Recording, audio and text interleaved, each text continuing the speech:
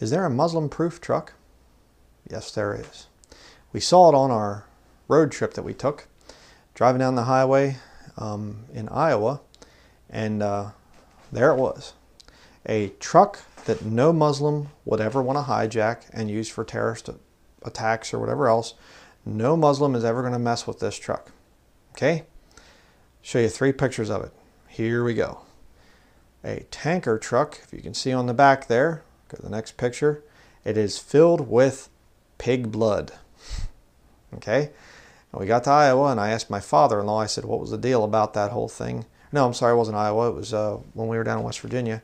Um, an older man down there, a friend of the family, and he said, he said, well, that's fertilizer. He said, that's what they're using that pig blood for. He said, they dry that and they make it into fertilizer.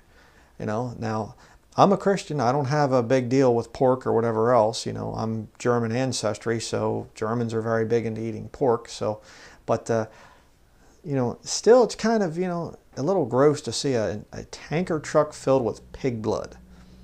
Uh, needless to say, we didn't really want to, you know, ride behind that very much and you know follow the the pig blood tanker truck. So, you know, uh, so I just thought that was kind of funny there. Um, but, ew. so that's gonna be it. Thanks for watching.